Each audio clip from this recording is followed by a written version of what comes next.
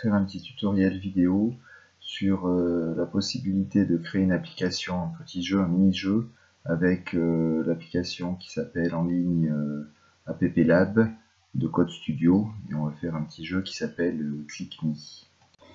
Alors voilà à quoi consiste ce petit jeu. On a écran, en écran ici avec un bouton démarrer. Quand je clique sur démarrer, il y a un smiley qui va apparaître dans un des trois carrés verts. Si je clique dessus, j'ai un score avec qui s'affiche euh, plus 1, qui affiche plus 1 à chaque fois.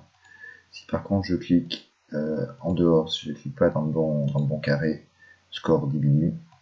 Voilà, donc c'est un petit jeu simple qui permet de découvrir la programmation qu'on appelle événementielle euh, avec des, une interface graphique. Bonjour, à partir de l'excellent site code.org, nous allons créer un mini-jeu euh, avec l'application qui s'appelle euh, AppLab. Donc je me connecte à code.org. Euh, je m'authentifie avec mes identifiants.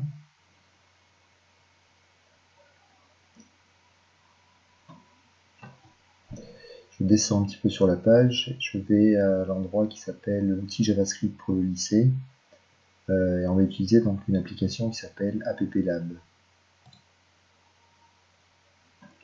Donc je clique euh, sur le bouton Make an App.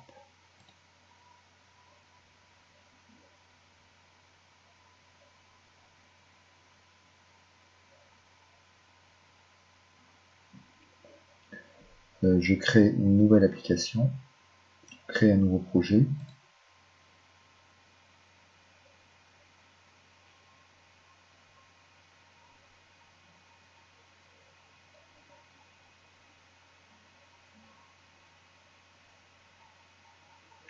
Je vais renommer tout de suite en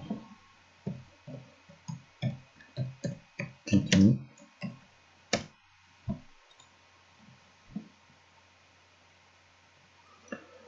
Voilà, et à partir de là, donc nous avons en fait euh, dans cette euh, application qui s'appelle AppLab, de Code Studio, une partie euh, pour le code, une partie pour le design de l'application qui s'appelle concevoir, une partie data que nous n'utiliserons pas pour stocker des données que nous n'utiliserons pas tout de suite. donc on va aller dans la partie concevoir, et à partir de là, sur la partie gauche où il y a l'écran, on va créer un premier bouton en faisant glisser ici, donc dans la partie droite, dans Properties, qui veut dire propriété, on a la possibilité de définir l'identifiant du bouton. On va l'appeler Start. On va mettre le texte qui apparaît sur le bouton. On va l'appeler Démarrer. Euh, voilà, on va créer un deuxième bouton à côté qu'on va appeler avec un identifiant pardon, Stop texte du bouton, ce sera arrêté.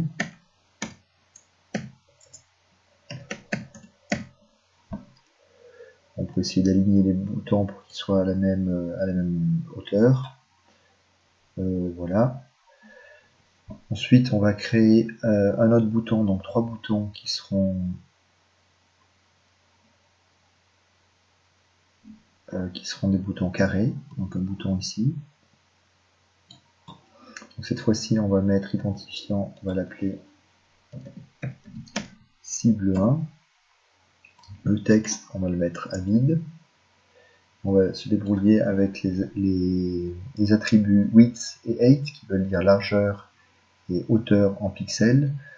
On va les positionner à 50 euh, et 50 pour obtenir ainsi un carré. Euh, on va en fait utiliser le bouton duplicate qui permet à partir d'un bouton d'obtenir le même, donc duplicate, le, duplique, on en a un deuxième, on fait encore duplicate, on en a ainsi un troisième.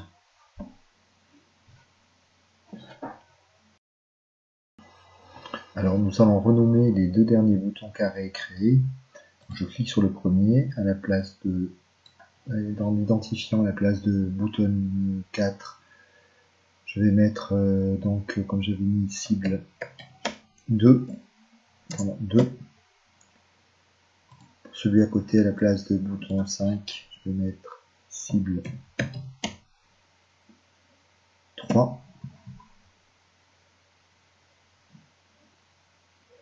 Voilà.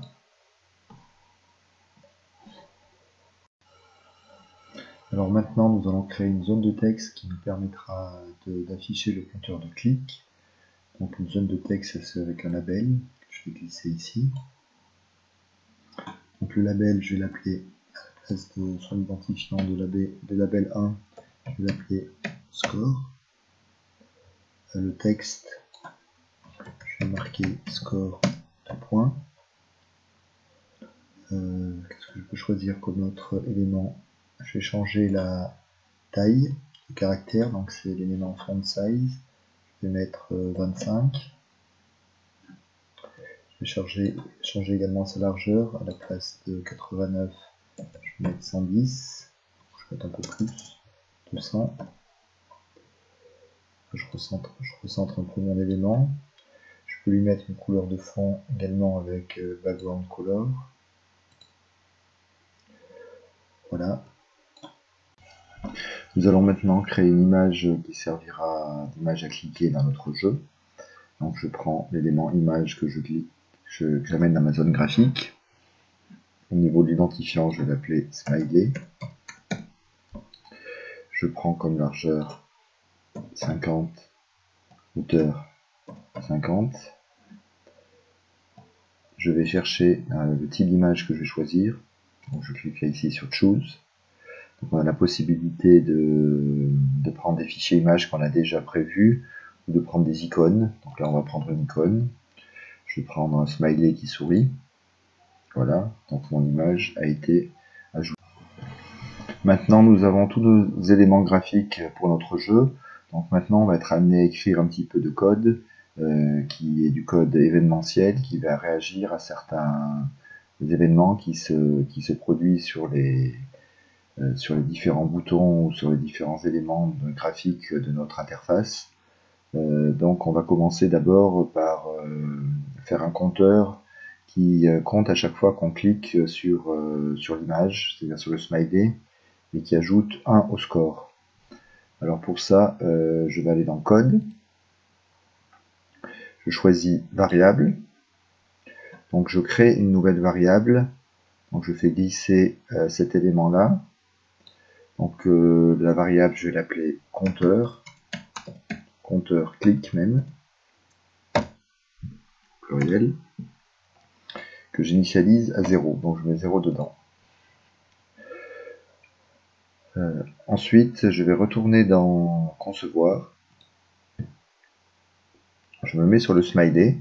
Je choisis le smiley je vais dans l'onglet qui s'appelle Events, donc qui veut dire qu'il y a l'événement, et je vais euh, cliquer sur Insert and Show Code sur l'événement clic, c'est-à-dire ce sera euh, une portion de code qui sera appelée quand on clique sur le smiley.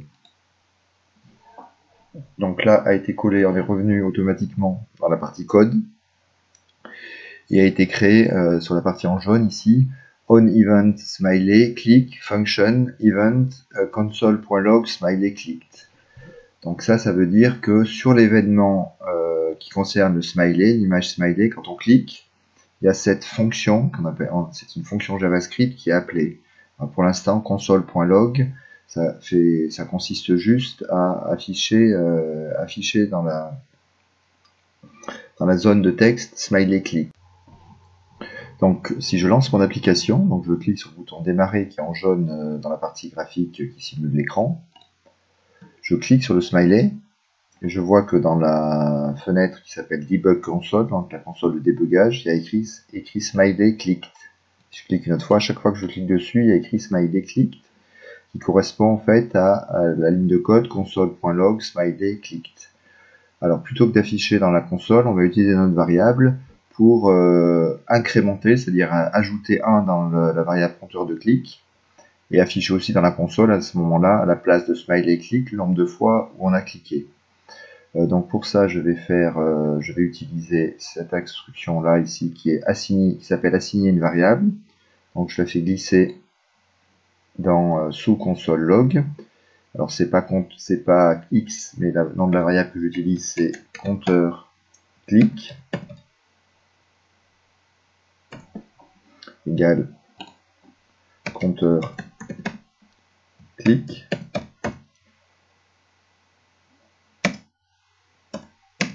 plus 1. En fait, je fais plus 1. Je fais donc j'incrémente en fait, à chaque fois que je vois cliquer dedans dans ma variable compteur clic, je fais plus 1. Euh, je vais déplacer console.log, je le mets en dessous. Et à la place de smiley click, je vais marquer nombre de clics deux points. Alors nombre de clics entre guillemets, vous observez bien. Et à la fin, je vais mettre plus le contenu de ma variable, donc compteur clic, comme ça. Alors je peux faire réinitialiser, je fais démarrer, et quand je clique, la premier affichage qui a marqué, quand je clique sur, euh, sur le smiley, il y a écrit nombre de clics 1. Si je clique une deuxième fois, il y a écrit nombre de clics 2, nombre de clics 3, etc. etc. Alors maintenant, plutôt que d'afficher dans la console, euh, on va associer en fait euh, donc le, nombre de clics, on va l'afficher et l'associer au label qu'on a créé, donc qui s'appelle score, au label euh, qui est dans notre interface graphique. Alors pour ça, je regarde le nom que je vais mis dans l'identifiant pour mon label score, donc qui s'appelle, je clique, il s'appelle score justement. Donc je reviens dans la partie code, et ici, je vais aller en fait dans la partie qui s'appelle UI Control. UI Control, ça veut dire User Interface Control. Et on va voir en fait qu'il y a différents éléments, dont un qui s'appelle notamment Set Text, qui permet ben, d'afficher un texte pour un, pour un objet particulier. Donc je le fais glisser, je le glisse sous console. Je clique sur la liste déroulante euh, à côté d'ID et donc je vais mettre score puisque mon libellé c'était score. D'accord Et dans le texte, en fait, je vais mettre, à la place de texte, je vais mettre nombre de clics. Non, je ne vais pas mettre nombre de clics, pardon, je vais mettre score. Deux points. Plus compteur clic.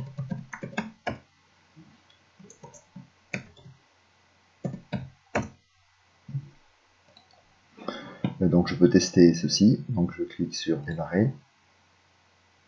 Et à chaque fois, je clique sur score. Donc là, on a, il y a marqué score 1. Si je clique une deuxième fois, il y a marqué score 2. Troisième fois, score 3, etc. etc. Alors maintenant, on va se débrouiller pour euh, faire apparaître donc, le smiley dans un des carrés verts de façon aléatoire, à chaque fois dans un premier temps quand on va cliquer sur le bouton démarrer. Alors pour ça, je me mets sur un concevoir sur démarrer. Je rajoute un événement euh, insert and show code sur le clic. Donc il m'a ajouté en event start click une fonction console.log start click, ça je peux l'enlever. D'accord Et donc je vais avoir à positionner le smiley en fonction de façon aléatoire euh, dans une des trois cases. Donc pour ça je vais déclarer une variable que je vais appeler dans cet élément-là que je vais appeler aléa, pour aléatoire. D'accord Et cette variable, en fait, je vais faire un tirage au sort d'un nombre aléatoire. Donc, dans la partie maths, il y a un élément qui s'appelle, une fonction qui s'appelle random number, qui veut dire nombre aléatoire. Il y a deux paramètres. Donc, je vais mettre entre 1 3. Donc, ça me tirera un nombre aléatoire entre 1 et 3. Et après, en fonction, si c'est 1, c'est l'emballatoire qui est tiré, ce qui est 1, je mettrai dans la première boîte, dans le, premier bouton en carré, sinon dans le deuxième, sinon dans le troisième. Donc pour faire ça, il va falloir que je fasse un test. Donc je vais dans contrôle, je prends un bloc if else. Voilà, donc euh, je vais tester d'abord l'état de ma variable aléatoire. Donc si je vais dans math, si avec le double égal qui permet de faire un test. Donc si aléa égal égal 1. dans ce cas-là, il faut que je positionne mon smiley dans, le premier bouton. Donc on va jouer sur les coordonnées de l'image pour faire afficher, euh, pour mettre les coordonnées, la, partie X, l'abscisse et l'ordonnée du smiley, correspondant à l'abscisse et l'ordonnée du premier bouton. Donc pour ça, je vais dans UI Control. J'ai une fonction qui s'appelle set position. Alors cette fonction a 1, 2, 3, 4, 5 paramètres. Le premier paramètre c'est l'élément graphique qu'on veut changer. Et puis la, deuxième paramètre, la position en X. Et le troisième paramètre, position en Y. Et après la largeur et la hauteur. Donc on n'a pas besoin de la largeur et la hauteur. Donc je clique sur ce bouton pour euh, les faire disparaître. Donc dans cette position, je vais choisir donc smiley, puisque c'est le smiley que je veux déplacer. Par contre, en abscisse, je vais récupérer, grâce à une fonction, l'abscisse du premier bouton. Donc pour ça, je vais aller dans Get X position, que je place ici. Ça veut dire récupérer la position en X, donc de la cible 1. je vais faire pareil. Get Y position pour euh, l'ordonnée de la cible 1. Alors, euh, il va falloir que je fasse la même chose dans le else. Alors, pardon, dans le else, donc je vais encore remettre un test. Donc, je vais dans contrôle, if. Voilà.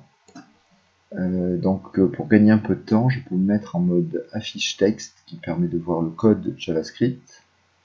Je vais pouvoir faire des copier-coller en fait. Donc en fait, là, dans le if, en fait, qui n'était pas précisé, je vais mettre, je peux remonter, copier et coller la condition aléa égale 1, donc bien en les mettant dans les parenthèses si aléa égale 2. Je copie la ligne cette position jusqu'à la fin que je mets ici.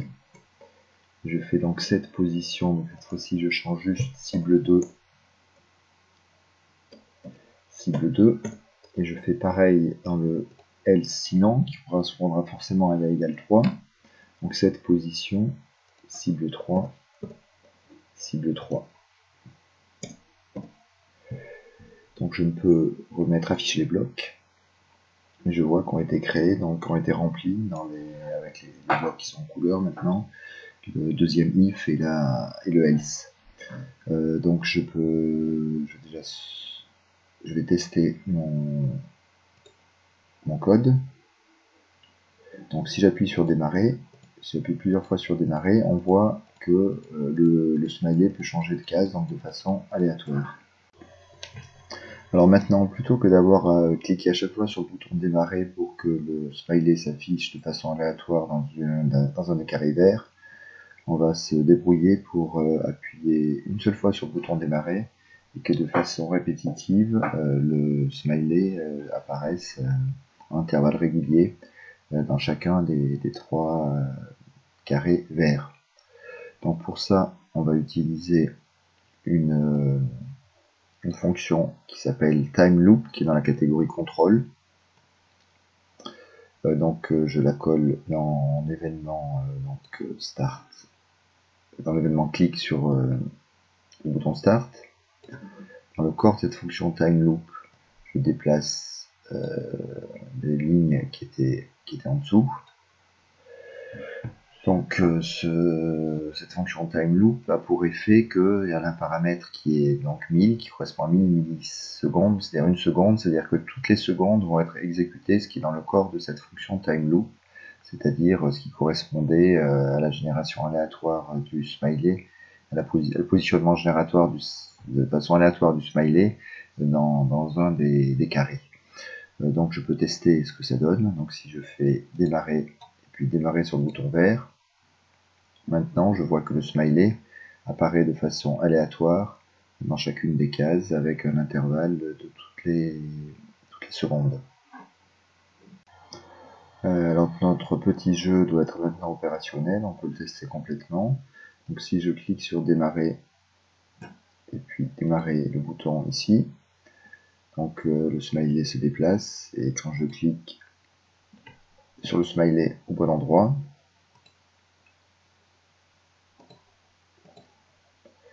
on voit que le, score se met à jour, s'incrémente de une unité.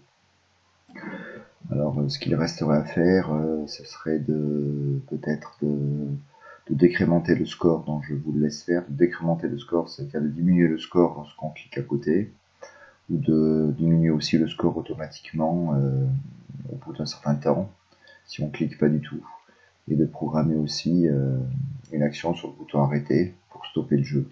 Voilà, je vous laisse faire ces actions, et puis amusez-vous bien et essayez à partir de cet exemple-là d'avoir des idées pour créer d'autres jeux.